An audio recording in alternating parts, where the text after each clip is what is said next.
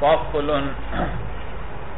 في تعريف طريق المراد بالنصوص.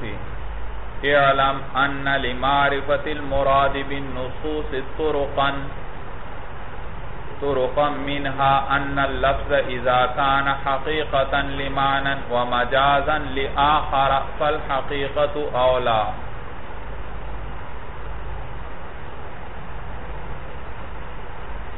اس فصل میں مصنف آپ کو بتلائیں گے کہ نصوص کی مراد کو پہچاننے کا کیا طریقہ ہے۔ نس آ جائے قرآن اور حدیث بھائی۔ اس میں کوئی حکم آ جائے تو آپ اس کے ذریعے کس چیز، اس نس کی مراد کیا ہے؟ کس چیز کا ارادہ کیا گیا ہے اس سے؟ اس پر مطلع ہونے کے طریقے بتلائیں گے بھائی۔ صورت سمجھ میں آئی بھائی؟ کس تاکہ پتہ چلایا جائے بھائی؟ حکم کس طرح نکالتے ہیں بھائی؟ حدیث اور قرآن سے۔ فصن فی تعریف طریق المراد بالنصوص۔ ای حاضا فصل۔ یہ فصل ہے فی تعریف طریق المراد بالنصوص۔ نصوص کی مراد کے طریقے کے پہچاننے میں بھائی۔ نصوص کی مراد کا طریقے کے نصوص کی مراد بھائی۔ نصوص سے کس چیز کا ارادہ کیا گیا ہے؟ اس کے پہچاننے کے طریقے بھائی ذکر ہوں گے۔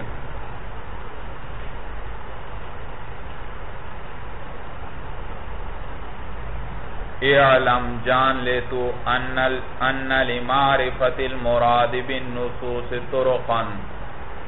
نصوص کی مراد کو پہچاننے کے کئی طریقے ہیں۔ طرقا جمع ہے طریق کی۔ یہ انا کا اس میں مؤخر ہے، کیونکہ انا کے بعد لمعرفت جار مجرور آ رہا ہے اور انا انا کے بعد جار مجرور آئے تو وہ کیا ہوتا ہے؟ خبر ہے مقدم ہوتا ہے اور اسم بعد میں مؤخر آیا کرتا ہے منصوب بھائی۔ اچھا کہتے ہیں بھائی کئی طریقے ہیں بھائی۔ نصوص کی مراد کے پہچاننے کے کئی طریقے ہیں بھائی۔ ایک ان میں سے منہا ان اللفظ اذا دیکھو ضابطہ بتلانے لگے ہیں۔ ان اللفظ اذا کان حقیقتا لمانا ومجازا لآخرا جب لفظ حقیقت ہو ایک معنی کے لیے ومجازا، اور جب لفظ کیا ہو؟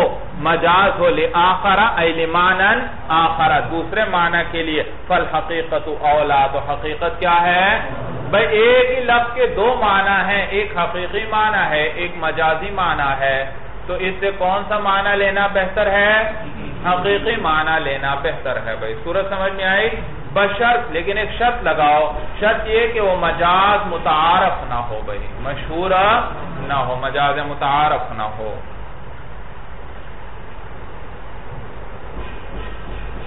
سمجھ میں آیا بھائی؟ اور نیز کسی ایک کا قرینہ بھی نہ ہو۔ صورت سمجھ میں آئی، بھئی اگر مجاز کا قرینہ ہوا پھر تو مجازی معنی لینا پڑے گا۔ اگر حقیقت کا قرینہ ہوا پھر تو کون سا معنی لینا پڑے گا؟ حقیقی معنی لینا پڑے گا۔ تو یہ اس وقت ہے جب کوئی قرینہ بھی نہ ہو، نہ حقیقت کا کوئی قرینہ ہے، نہ مجاز کا کوئی قرینہ ہے۔ اور نیز کوئی مجاز، وہ مجاز متعارف بھی نہ ہو، مشہور نہ ہو۔ تو اس صورت میں اب حقیقی معنی بھی ہے، مجازی معنی بھی ہے۔ تو کیا لینا کون سا معنی مراد لینا اولا ہے؟ حقیقی معنی مراد لینا اولا ہے۔ ضابطہ پتہ چل گیا بھائی۔ ضابطہ کیا ذکر کیا انہوں نے؟ کہ جب ایک لفظ کے حقیقی معنی ہو، ایک لفظ کے دو معنی ہو، ایک حقیقی اور ایک مجازی معنی۔ تو اس صورت میں کون سا معنی لینا اولا ہے؟ حقیقی معنی مراد لینا اولا ہے بھائی۔ صورت سمجھ میں آئی بھائی؟ یہ تھا ضابطہ۔ اب مسئلہ آگے یہ ذکر ہوگا مثال کے طور پر، بھئی ایک شخص ہے، اس نے بھائیوں کو ہاں ایک لڑکی ہے، وہ زنا سے پیدا ہوئی ہے۔ زنا سے۔ آپ یہ لڑکی بڑی ہو گئی تو کیا اس کا نکاح اس زانی کے ساتھ جائز ہے یا جائز نہیں، جس کے نطفے سے یہ پیدا ہوئی؟ تو ہمارے احناف کا مذہب یہ ہے کہ یہ لڑکی اس زانی پر حرام ہے، اس زانی کا اس سے نکاح جائز نہیں۔ کیوں؟ کیونکہ یہ اس کے نطفے سے پیدا ہوئی ہے، یہ اس کی بیٹی ہے۔ یہ کیا ہے؟ اس کی بیٹی ہے۔ اور قرآن میں اللہ فرماتے ہیں حرمت علیکم امہاتکم و بناتکم، تمہاری مائیں اور تمہاری بیٹیاں تم پر حرام کر دی گئی ہیں بھائی۔ سورت سمجھ میں آئی تو مائیں اور بیٹیاں حرام کر دی گئی ہیں، ان سے نکاح نہیں ہو سکتا۔ اور یہ بھی لڑکی جو زنا سے پیدا ہوئی، اسی شخص کے نطفے سے پیدا ہوئی، تو یہ اس کی بیٹی ہوئی اور بیٹی کے ساتھ تو نکاح جائز نہیں۔ صورت سمجھ میں آ گئی۔ جبکہ امام شافعی رحمہ اللہ فرماتے ہیں کہ زانی کا اس لڑکی سے نکاح جائز ہے۔ زانی کا کیا ہے؟ اس لڑکی سے نکاح جائز ہے۔ اس لیے وہ دلیل یہ دیتے ہیں کہ بھئی یہاں کہ یہ بیٹی اس کو کہتے، اس کو کہتے ہیں عرف میں اور شریعت میں، جس سے جو جس کے لیے اس شخص کا جس کا اس شخص سے نصب ثابت ہو۔ جس کا اس شخص سے کیا ثابت ہو؟ نصب ثابت ہو۔ عرف میں بھی کیا کہلاتی ہو؟ اس شخص کی بیٹی کہلاتی ہو۔ صورت سمجھ میں آئی بھائی کہ یہ فلاں شخص کی بیٹی ہے۔ جبکہ زنا سے جو پیدا ہوئی ہے، اس کی نسبت کسی شخص کی طرف نہیں کی جاتی کہ یہ فلاں کی بیٹی ہے وہ۔ صورت سمجھ میں آئی؟ کیا مسئلہ ہوا؟ امام شافی رحم اللہ کیا فرماتے ہیں؟ کہ اس شخص کا اس سے نکاح کرنا جائز ہے۔ اس لیے کہ یہ عرفن اور شرعن اس شخص کی بیٹی نہیں بھئی اس شخص کی بیٹی عرفن اور شرعن نہیں، کیونکہ بیٹی اس کو کہتے ہیں جس کی نسبت بھی اس شخص کی طرف کی جاتی ہو۔ اور زنا سے پیدا ہونے والی لڑکی کی نسبت کسی کی طرف نہیں کی جاتی عرفن بھئی سمجھ میں آیا؟ کسی کی طرف۔ تو لہذا یہ اس شخص کی بیٹی نہ ہوئی، نہ عرفان عرف میں بھی اس کی طرف نسبت نہیں کی جاتی، اور شرعان بھی یہ اس کی بیٹی نہیں۔ اس لیے کہ شریعت میں بیٹی کیا کون ہے؟ جو ثابت النصب بھی ہو، جس کا نصب بھی اس شخص سے ثابت ہو، اور عرف میں بھی کہتے ہوں احناف جواب دیتے ہیں بھائی، وہی جواب بھائی، کہ یہاں بنت کے دو معنی ہیں۔ ایک حقیقی معنی ہے، ایک مجازی معنی ہے۔ حقیقی معنی بیٹی کسے کہتے ہیں؟ وہ مؤنس ہے جو کسی اس شخص کے نطفے سے پیدا ہوئی ہو۔ کسے کہتے ہیں بھئی یہ تعریف لکھ لو بھئی البنت ہی الانسا انسا سا کے ساتھ۔ البنت ہی الانسا یہ سا یا بھئی ساتھ آئے گی کھڑی زبر بھئی البنت ہی الانسا المخلوقت المخلوقت مما الرجل. المخلوقت مما الرجل.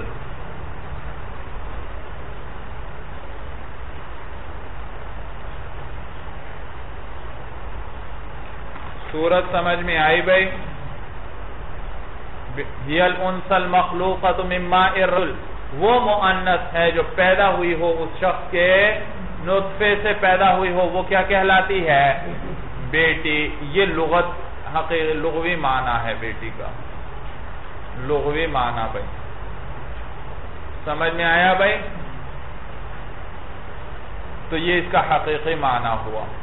اور ایک ہے مجازی معنی بیٹی کا، اور وہ مجازن کس کو بیٹی کہتے ہیں؟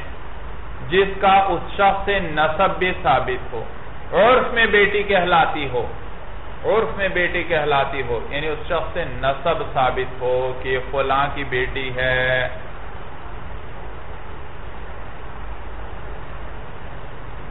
جو فلاں کی بیٹی ہے۔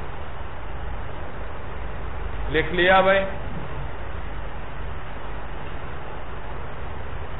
تو بھائی بنت کا لفظ آیا ہے، بھائی حرمت علیکم امہاتکم و بناتکم۔ بنات کا لفظ آیا اور بنت حقیقت حقیقت میں کسے کہتے ہیں؟ جو کسی شخص کے نطفے سے، اس شخص کے نطفے سے پیدا ہوئی ہو۔ اور شریعت میں بیٹی اور عرف میں بیٹی کس کو کہتے ہیں؟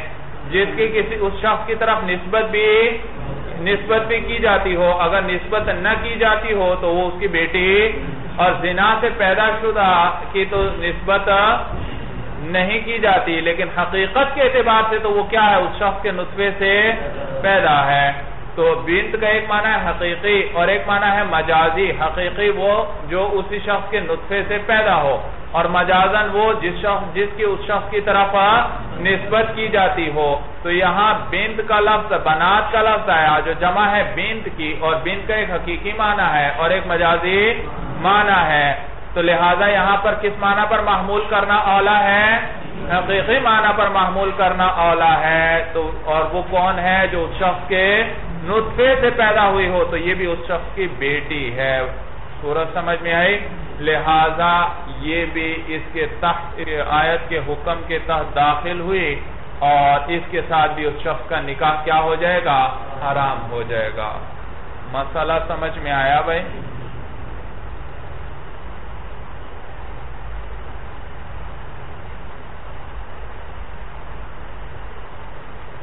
اور نیز یہ مقام حرمت کا ہے۔ مقام کس چیز کا ہے؟ بھئی ہم کہہ رہے ہیں حرام ہے نکاح۔ امام شافی رحم اللہ فرما رہے ہیں، کیا ہے نکاح؟ اس شخص کا، اس لڑکی سے نکاح جائز ہے بھئی۔ تو یہاں احتمال ہے بھئی۔ حرمت جہاں جواز کا احتمال ہے، تو حرمت کا بھی احتمال ہے تو احتیاط ہمارے مسلک کے اندر ہے بھئی احتیاط ہمارے مسلک کے اندر احتیاط ہے بھئی مثالہو ما قال علماؤنا، مثال اس کی بھئی جس وہ جو کہا ہے ہمارے علماء فقہا نے کہ البینت المخلوقت مما الزنا، کہ وہ بیٹی جو پیدا ہوئی ہو زنا کے نطفے سے یحرم علی الزانی، نکاحوها حرام ہے، زانی پر اس کا نکاح۔ اس سے نکاح کرنا زانی پر حرام ہے۔ وقال الشافعی رحم اللہ یحل اور امام شافعی رحم اللہ کیا فرماتے ہیں؟ امام شافعی رحم اللہ کیا فرماتے ہیں؟ حلال ہے، جائز ہے، اس سے نکاح کرنا۔ وَالصَّحِحُ مَا قُلْنَا، اور صحیح وہ ہے جو ہم نے کہا، لِأَنَّهَا بِنْتُهُ حَقِقَتًا اس لیے کہ یہ اس کی بیٹی ہے باعتبار حقیقت کے۔ تو دیکھا، ایک لفظ ہے، اس کے دو معنی آئے، اور کون سا معنی اولا ہے؟ حقیقی معنی پر محمول کرنا اولا ہے۔ لہذا ہم یہاں بنت کا حقیقی معنی مراد لیتے ہیں، اور حقیقت اعتبار سے یہ لڑکی کیا ہے، اس شخص کی بیٹی ہے۔ جب بیٹی ہے تو اس کے ساتھ اس کا نکاح کرنا جائز نہیں ہے بھائی۔ فَتَدْخُلُ تَحْتَ قَوْلِهِ تَعَالَى تو پس یہ بھی داخل ہوئی اللہ کے اس قول کے تحت حُرِّمَتْ عَلَيْكُمْ أُمَّهَاتُكُمْ وَبَنَاتُكُمْ، حرام کر دی گئی ہیں تمہارے اوپر تمہاری مائیں اور تمہاری بیٹیاں۔ تو یہ بھی کیا ہوئی؟ بیٹی ہوئی باعتبار حقیقت کے۔ تو یہ بھی اس شخص پر کیا ہو گئی؟ حرام ہو گئی۔ وَيَتَفَرَّعُ مِنْهُ الْأَحْكَامُ عَلَى الْمَذْهَبَيْنِ۔ اور متفرع ہوتے ہیں، نکلتے ہیں اس سے احکام دونوں مذاہب پر بھئی دونوں مذاہب پر اس کے مطابق اب احکام مرتب ہوں گے بھئی ہمارے نزدیک اس سے کیا ہے؟ نکاح جائز نہیں۔ ان کے نزدیک نکاح جائز ہے۔ تو احکام دونوں مذہب پر اس کے مطابق نکالے جائیں گے۔ کون سے احکام؟ من بیانیہ ہے بھئی من کیا ہے؟ احکام۔ کون سے احکام؟ یعنی کہ من حل الوطی، وطی کا حلال ہونا۔ بھئی ہمارے نزدیک اس سے نکاح کیا تو نکاح ہوا ہی نہیں، لہذا وطی بھی جائز نہیں۔ اور امام شافر عملہ کے نزدیک نکاح کیا، نکاح ہو گیا تو نکاح وطی بھی کیا ہو گئی؟ جائز تو وطی کا حلال ہونا ہمارے نزدیک، ان کے نزدیک بھئی نہ کہ ہمارے نزدیک۔ وہ وجوب المہری اور مہر کا یہ حکم بھی نکلے گا۔ ان کے نزدیک نکاح ہو گیا وطی کی تو کیا ہو جائے گا؟ مہر واجب ہو جائے گا۔ ہمارے نزدیک نکاح ہی نہیں ہوا، تو لہذا مہر بھی واجب نہیں۔ وہ لزوم نفقتی اور نفقتی نفقے کا واجب ہونا، ان کے نزدیک نکاح ہو گیا اس نے اپنے آپ کو سپرد کر دیا، تو لہٰذا مہر بھی واجب اور نفقہ بھی خامت پر کیا ہو گیا؟ واجب۔ ہمارے نزدیک نکاح ہی نہیں ہوا، تو مہر نفقہ بھی واجب نہیں۔ وہ جریان اتوارسی اور وراثت کا جاری ہونا، باہمی وراثت کا بھائی ان کے نزدیک نکاح ہو گیا اور ان میں سے کوئی ایک مر جائے تو میاں بیوی کیا ہوتے ہیں؟ ایک دوسرے کے وارث ہوتے ہیں۔ ہمارے نزدیک نکاح ہی نہیں ہے، میاں بیوی نہیں ہے، تو ان میں سے کوئی مر جائے تو دوسرے کا وارث بھی نہیں۔ وہ ولایت المنع یعنی الخروج والبروز۔ اور نکلنے، خروج و بروز بروز کا معنی ظاہر ہونا ظاہر ہونا۔ یہ عطف تفسیری ہے، خروج اور بروز کا ایک معنی ہے بھائی۔ نکلنا، ظاہر ہونا ہے، باہر نکل بھائی اب اس امام شافی رحمہ اللہ کے نزدیک نکاح ہو گیا تو خامن کیا کر سکتا ہے؟ اس کو باہر نکلنے سے گھر سے منع کر سکتا ہے۔ ہمارے نزدیک نکاح ہی نہیں، لہٰذا اس کو باہر نکلنے سے منع کرنے کی ولایت بھی سے حاصل صورت سمجھ میں آ گئی۔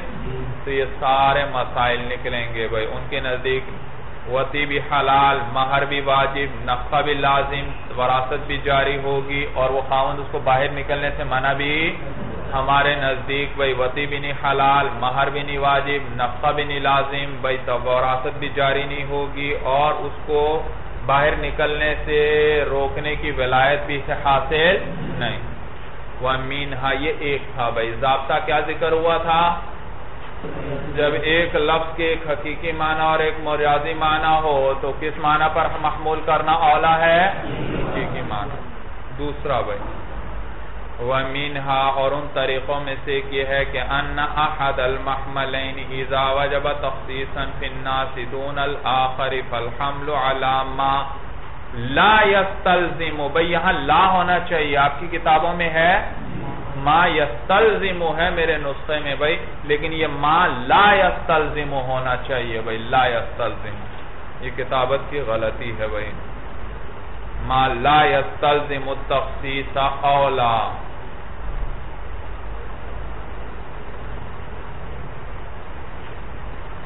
بھائی یاد رکھو، ایک نس آئی مثلا اور نس کے اندر دو احتمال ہیں بھائی۔ نس کے اندر دو احتمال ہیں۔ اور ایک احتمال کی صورت میں تخصیص کرنا پڑتی ہے، دوسرے احتمال کی صورت میں تخصیص نہیں کرنا پڑتی۔ تو اس کو، اس احتمال پر رکھنا اس صورت پر محمول کرنا جس پہ تخصیص نہ ہو، یہ اولا ہے۔ یہ کیا ہے؟ اولا ہے۔ کیا مسئلہ ذکر ہوا؟ کیا ضابطہ ذکر کیا انہوں نے؟ کہ جب ایک نس میں کتنے احتمال ہوں؟ دو احتمال۔ اور ایک احتمال کی صورت میں کیا کرنا پڑتی ہو؟ تفصیص کرنا پڑتی ہو۔ اور دوسرے احتمال کی صورت میں کوئی تفصیص نہیں کرنا پڑتی۔ تو کون سا احتمال اولا ہے؟ جس میں تفصیص نہ ہو بھائی، جس میں تفصیص نہ ہو۔ بھائی، مثال سے بات سمجھ میں آئے گی، دیکھیے بھائی۔ یعنی ایک صورت میں وہ اپنے تمام افراد کو شامل ہوتی ہے، کوئی تفصیص نہیں کرنا پڑتی۔ ہر فرق اس حکم کے تحت داخل ہے۔ اور ایک وہ صورت ہے کہ بعض افراد کو اس سے کیا کرنا پڑتا ہے؟ نکالنا پڑتا ہے۔ اس کے بغیر درست نہیں۔ تو اس صورت میں کون سا اولا ہے جس میں اس کو اپنے عموم پر برقرار رکھا جائے؟ اس میں کسی قسم کی تفتیش نہ کرنی پڑتی ہو۔ مثال کے طور پر اللہ قرآن میں فرماتے ہیں، اذا جاء احدكم من الغائط علامتم النساء فلم تجدوا مان فتیمموا سعیدا تو دیکھا جب تم میں سے کوئی قضاء حاجت سے آئے او لامستم النساء، یا تم اپنی عورتوں کو کیا کر لو؟ چھو لو۔ اب یہاں لامستم آیا۔ لمس کا ایک معنی کیا ہے؟ ہاتھ سے چھونا۔ اور یہ حقیقی معنی۔ اور دوسرا معنی کیا ہے؟ مجازی معنی۔ اور وہ کیا ہے؟ جمع بھائی، جمع۔ اب امام شافی رحم اللہ اس کو حقی معنی اسے مراد لیتے ہیں کہ ہاتھ سے چھونا مراد ہے۔ کسی نے بھی عورت کو چھو لیا بغیر حائل کے، تو اس صورت میں اس کا وضو کیا ہوگا؟ ٹوٹ جائے گا۔ جبکہ ہم کہتے ہیں یہاں مراد کیا ہے؟ جمع ہے جو اس کا مجازی معنی ہے۔ تو اب جمع کی صورت میں اس کی طہارت ٹوٹے گی، صرف چھونے سے طہارت نہیں ٹوٹے گی۔ صورت سمجھ میں آئی۔ اب امام شافی رحم اللہ کے قول کے متعلق اگر معنی لیں، تو اس صورت میں انہوں نے کیا ذکر کیا تھا؟ لامسا کا کیا معنی ذکر کیا؟ ملامست کا۔ جی ہاتھ سے چھونا، لیکن اس صورت میں نفس اپنے عموم پر باقی نہیں رہتی، بلکہ وہ تخصیص کرتے ہیں۔ عموم تو یہ تھا کہ جب بھی کسی بھی عورت کو چھو لے کیا ہونا چاہیے؟ طہارت زائل ہو جانی چاہیے۔ کیا ہونی چاہیے؟ زائل۔ ہونی چاہیے۔ لیکن وہ اس میں تخصیص کرتے ہیں کچھ افراد کو نکال دیتے ہیں۔ وہ کہتے ہیں اگر محرم کو ہاتھ لگا دیا تو اس صورت میں وضو طہارت زائل نہیں ہوگی۔ مثلا ماں ہے بہن ہے بیٹی ہے بھئی آیا سفر سے، ان سے ہاتھ ملا لیا۔ تو کہتے ہیں، نہیں بھئی، اب یہ چونکہ محرم ہے، لہذا وضو نہیں ٹوٹے گا۔ یا اسی طرح ایک بچی ہے، بہت صغیرہ مشتہات نہیں ہے۔ چھوٹی سی ہے، سال کی ہے، دو سال کی ہے، اس کو بھی چھو لیا۔ تو اس صورت میں بھی طہارت زائل نہیں ہوگی۔ تو دیکھو نفس تو تقاضا کر رہی ہے، کس چیز کا؟ کہ جس عورت کو بھی چھو لے جی وضو کیا ہونا چاہیے؟ ٹوٹنا۔ لیکن وہ کیا کرتے ہیں اس کے اندر؟ تفصیص کرتے ہیں۔ تو حقیقی معنی مراد لیتے ہیں چھونا، لیکن اس کے اندر کیا کرتے ہیں؟ وہ تفصیص کرتے ہیں۔ اور ہم اس سے کون سا معنی مراد لیتے ہیں؟ جمع والا۔ اور اس صورت میں کوئی تفصیص ہم نہیں کرتے۔ جب بھی جمع کر لے گا، طہارت کیا ہو جائے گی؟ ضائع ہو جائے گی۔ تو اس کے اندر دو احتمال تھے، حقیقی معنی کبھی اور، مجازی معنی کبھی۔ لیکن حقیقی معنی مراد لیں تو اس صورت میں کیا کرنی پڑتی ہے؟ تفتیش اور مجازی معنی مراد لیں تو تفتیش نہیں کرنا پڑتی۔ تو کس معنی پر محمول کرنا اولا ہے؟ اس صورت میں جس میں تفتیش نہ ہو بھئی صورت سمجھ میں آئی بھئی تو ہمارے نزدیک جب بھی جمع پایا جائے، جس سے بھی پایا جائے، فوراً طہارت کیا ہو جائے گی؟ ظاہر کوئی تفصیص نہیں ہے۔ صورت سمجھ میں آ گئی۔ اس پر اشکال ہوتا ہے کہ آپ نے تو خود ابھی ضابطہ ذکر کیا تھا۔ ایک حقیقی معنی ہو، ایک مجازی معنی ہو، تو کس پہ ہم معمول کرنا اولا ہے؟ حقیقی معنی پر۔ اب یہاں پر لمس کا حقیقی معنی ہے چھونا اور مجازی معنی ہے جمع، اور آپ کس معنی پر معمول کر رہے ہیں؟ مجازی معنی پر محمول کر رہے ہیں۔ تو ابھی آپ نے جو ضابطہ ذکر کیا تھا، خود ہی اس کو توڑ دیا۔ کہتے ہیں، نہیں بھائی، ابھی اوپر میں نے ذکر کیا تھا کہ جی، حقیقت یا مجاز کا کوئی وہاں پر قرینہ بھی نہ ہو۔ یہاں مجاز کا قرینہ بھی موجود ہے مولانا۔ لامسا آیا، لامستم، لامسا یو لامسم لامستن باب مفعلہ آیا۔ اور باب مفعلہ کس کو چاہتا ہے؟ فیل کو جانبین سے چاہتا ہے۔ فیل کو کس سے چاہتا ہے؟ جانبین سے چاہتا ہے۔ اور جانبین سے چھونا، یہ عام چھونے میں ہوگا یا جمع کے اندر ہوگا بھائی؟ جمع کے اندر ہے۔ معلوم ہوا یہاں مجازی معنی کا کیا موجود ہے؟ قرینہ بھی موجود ہے بھائی۔ نیز مولانا، وہ اس مقام پر تھا جب حقیقت اور مجاز عموم و خصوص کے اعتبار سے برابر ہوں بھائی۔ حقیقت اور مجاز کیا ہو؟ عموم اور خصوص کے اعتبار سے برابر ہو تو پھر کون سا معنی اولا ہے؟ حقیقی معنی۔ لیکن یہاں پر تو دونوں عموم و خصوص کے اعتبار سے برابر نہیں۔ اگر حقیقی معنی مراد لیں تو کیا کرنا پڑتی ہے؟ تفصیص عموم میں کمی آ جاتی ہے۔ اور اگر ہم اس کا مجازی معنی کریں تو پھر اس صورت میں کیا ہے؟ تفصیص نہیں کرنا پڑتی، عموم اسی طرح برقرار رہتا ہے۔ صورت سمجھ میں آ گئی؟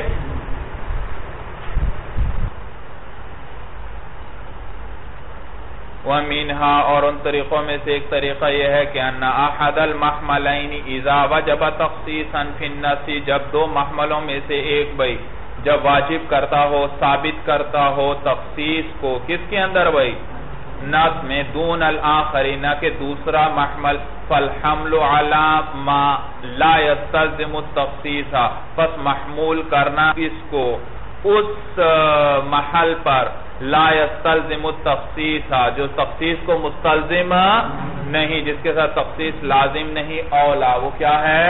اولا ہے۔ مثالہ فی قوله تعالی، مثال اس کی اللہ کے اس قول میں ہے اولامستم النساء فالملامست لو حملت علی الوقاع پس ملامست کو اگر محمول کیا جائے، وقاع یعنی جماع پر، کان النفس معمولا بھی فی جمیع سور وجودی تو نفس معمول بھی ہوگی یعنی اس پر کیا ہوگا؟ عمل ہوگا، فی جمیع سور وجودی ای وجود الوقاعی جماع کے وجود کی تمام صورتوں میں۔ جماع کے جماع کے پائے جانے کی تمام صورتوں میں نس کیا ہوگی؟ معمول بھی ہی ہوگی یعنی اس پر کیا ہوگا؟ عمل ہوگا۔ ولا حملت علی المس بالیدی اور اگر اس کو محمول کیا جائے، کس پر؟ مس ید پر، ہاتھ سے چھونے پر محمول کیا جائے۔ کان النفس مخصوصا بھی فی کثیر من الصور۔ تو نفس مخصوص ہو جائے گی بہت سی جی بہت سی صورتوں میں۔ کیسے فَإِنَّ مَسَّ الْمَحَارِمِ، اس لیے کہ چھونا کس کو بھئی محرموں کو چھونا، محرم عورتوں کو چھونا، وَالطِفْلَةِ الصَّغِيرَةِ، اے مَسْتِ الطِفْلَةِ الصَّغِيرَةِ، اور بہت صغیرتی جداً، بہت چھوٹی بچی کو چھونا، غیر ناقض للوضوء، یہ ناقض للوضوء نہیں ہے۔ فی اصح قول الشافعی بھائی فی ہے آپ کی کتابوں میں؟ فی ہونا چاہیے بھائی فی فی۔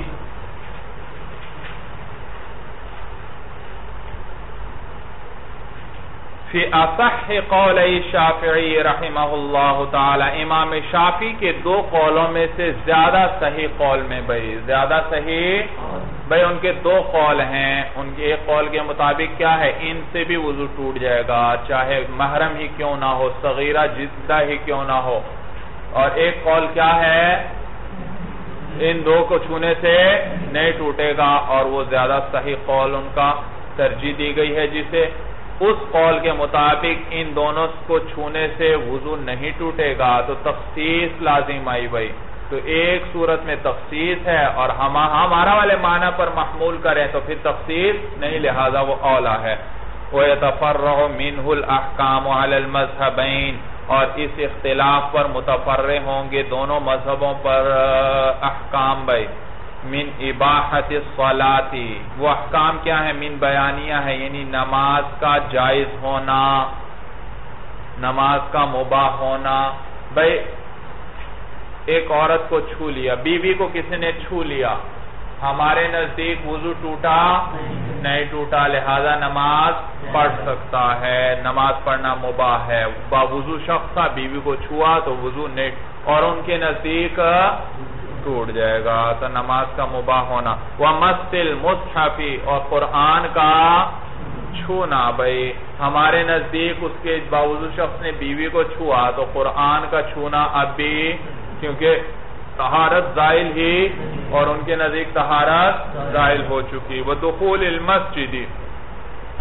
یہ اولا خلاف اولا بھائی، سمجھ میں آیا؟ کراہت تنزیحی مراد ہے۔ بھائی، ایک شخص نے اپنی بیوی کو چھوا باوضو شخص نے، تو ان کے نزدیک تہارت کیا ہو گئی؟ زائل لہذا آپ اس بغیر وضو کی حالت میں اس شخص کا مسجد میں داخل ہونا، یہ کیا ہے؟ خلاف اولا ہے مکروح تنزیحی ہے۔ سورج سمجھ میں آئی بھائی؟ اور ہمارے نزدیک وضو ابھی بھی باقی ہے۔ لہذا بغیر کراہت کی وہ کیا ہے؟ مسجد میں باوضو ہے وہ تو۔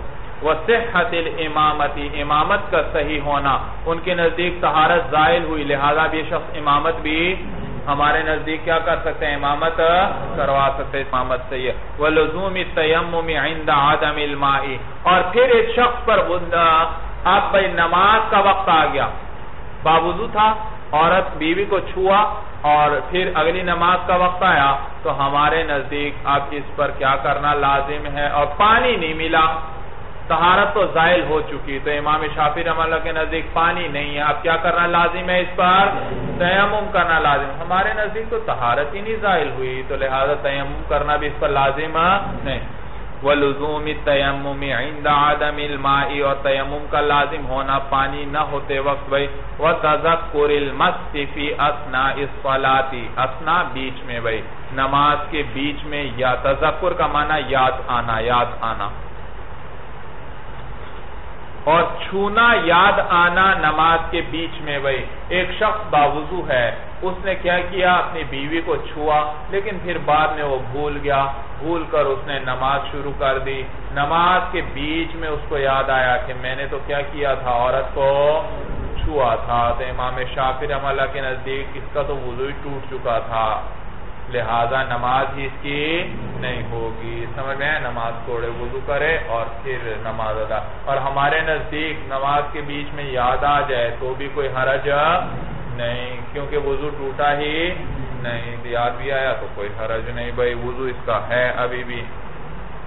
سورت سمجھ میں آ گئے بھائی۔ چلیے، مولانا المرام۔ اللہ عالم بحقیقت الکلام۔